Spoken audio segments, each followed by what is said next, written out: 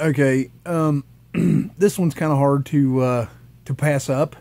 Um, I uh, I try to keep everything clean um, and friendly as possible.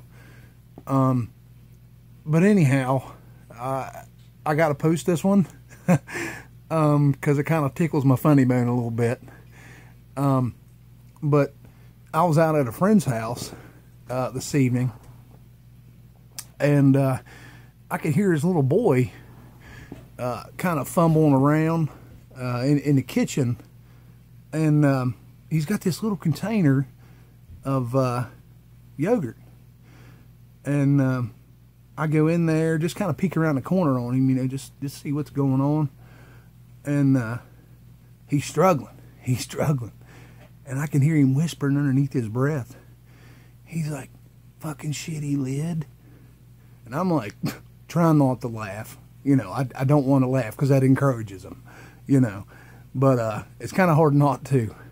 And then out of the blue, uh, his significant other uh, speaks up very quickly and says, Well, I wonder where he learned that from. And I, I didn't know what to say. I just kind of stepped back. And uh, he heard her say that. And he said, He got it out of the fucking fridge. Wow. Just wow.